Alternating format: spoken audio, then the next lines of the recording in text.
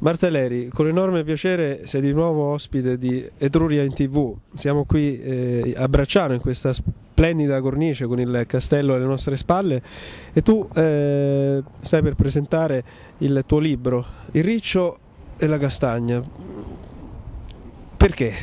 Perché trovare eh, queste due parole per racchiudere comunque eh, un aspetto di una vita molto importante per te? E questo titolo nasconde, contiene vari significati. Il libro inizia con un sogno, eh, inizia con un sogno in cui la protagonista appunto sta lavorando, sta costruendo un riccio che gli viene rubato e dopo vari, varie vicissitudini lo ritrova, anche se non proprio nella stessa forma con cui l'aveva costruito e l'aveva lasciato. E il riccio un po', diciamo, mi sento identificata in questo animaletto, sia perché è un animale che ama stare nei boschi e io sono piuttosto solitaria, sia perché è un animale riservato e schivo ma con un forte senso della famiglia come me. E, e, anche il nome, il Riccio e la Castagna, è il nome eh, che ho dato alla mia casa quando ho deciso di cambiare vita e appunto sono venuta a vivere qui a Manziana. L'amicizia veramente è penso la cosa più importante che ognuno di noi può avere e nel caso di una grave malattia come quella che io ho avuto è proprio una rete di salvataggio. Marta, la mia avventura verso la guarigione è una frase che eh, si può trovare qui in questo libro, ma ce lo puoi spiegare? Eh, inizialmente, il, il primo, dopo il primo impatto di, di paura e proprio di panico, e ho cominciato a prendere consapevolezza che ehm, in parte la guarigione era nelle mie mani e quindi ho deciso proprio di affrontarla come un'avventura eh, cercando anche strumenti eh, che mi consentissero di trovare dentro di me l'energia e la forza necessaria eh, per, eh, eh, diciamo per guarire se non la malattia perlomeno la mia vita.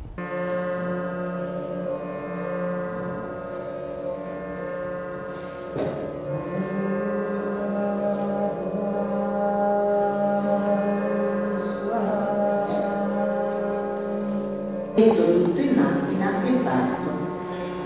Arrivare a Marina Chiara è un po' come tornare a casa.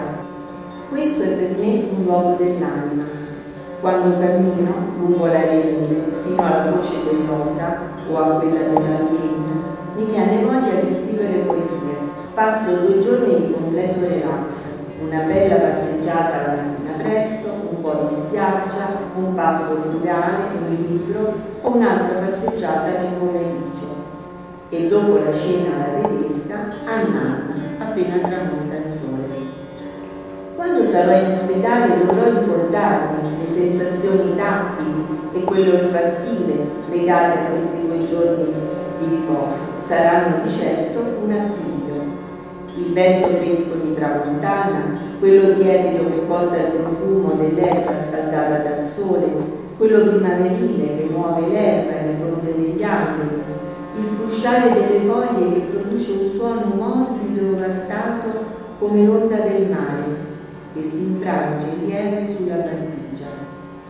L'aroma del caffè appena uscito dalla moca, il profumo delle piante mediterranee sotto il sole, soprattutto quello dei pini e delle isole il contatto dell'acqua tiepida del mare sulla pelle e quello della sabbia morbida e del forte dell'estate che brucia la pelle.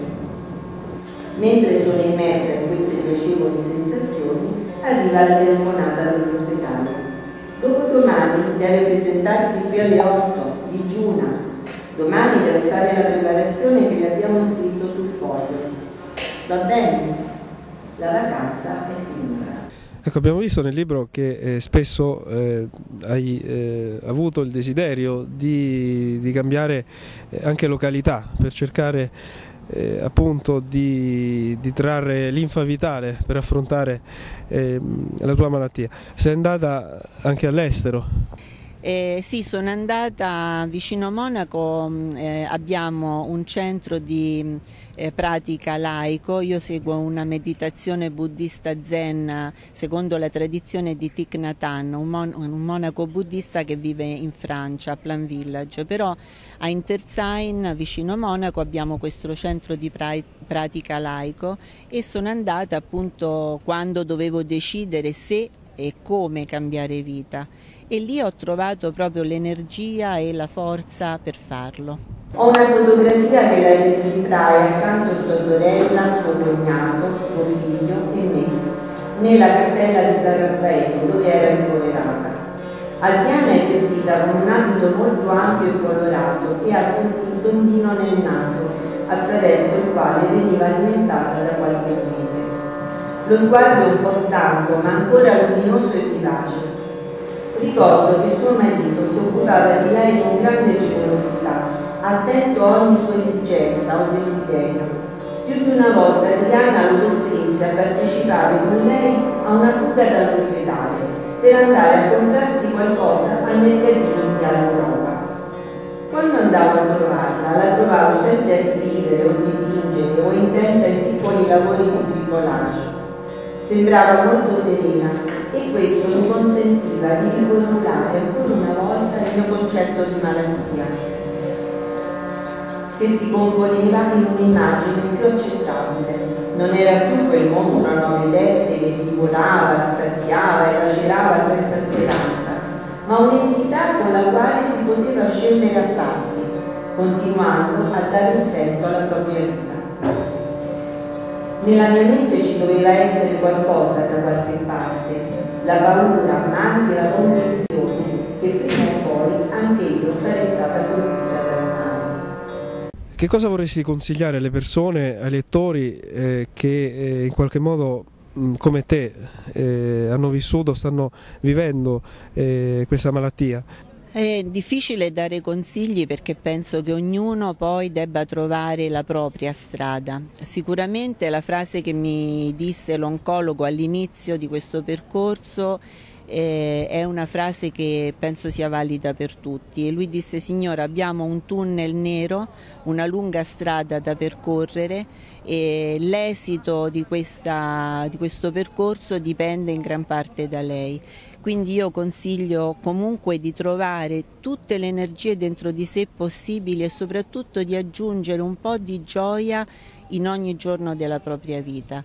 Mm, quando si fanno le, le, analisi, quando si fa la chemioterapia, quando si affronta un intervento anche difficile e sembra così a dirlo, magari sembra che non si possa fare, ma invece basta semplicemente mettere un po' più di consapevolezza proprio nel momento presente. Um, uno degli aiuti più grandi che mi è stato dato in ospedale, un infermiere il giorno prima dell'intervento mi prese da parte perché io stavo piangendo e mi disse ma tu adesso hai dei dolori, soffri? E io dissi no, in questo momento no.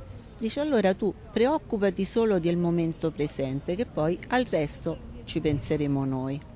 Eh, Marta, questa tua energia ti porterà a produrre altre opere eh, letterarie? Allora, anche se su questo libro è stampata la parola romanzo, io non so, ancora non ho abbastanza fiducia in me stessa per pensare che questa sia un'opera letteraria, è un'esperienza, una testimonianza. Io però scrivo da quando avevo 11 anni, con questo libro ho realizzato un altro sogno della mia vita, uno era quello di andare a vivere in campagna, un altro era quello di scrivere un libro e ho parecchie cose sto, a cui sto lavorando. Marta, questo libro parte da un sogno. Eh, qual è il tuo sogno da grande? Anche se grande eh, vuole rispecchiare tante cose, eh, affrontare i problemi della vita, eh, anche a chi non ha mh, avuto o non ha problemi riguardo a questa malattia. E il mio sogno in questo momento, alla mia età, ho 56 anni, è quello di affrontare la vecchiaia e la morte, perché spesso noi occidentali ce lo dimentichiamo, ma la morte fa parte della vita e quindi affrontare la vecchiaia e poi il più lontano possibile naturalmente la morte è, qualcosa a cui prepararsi con impegno.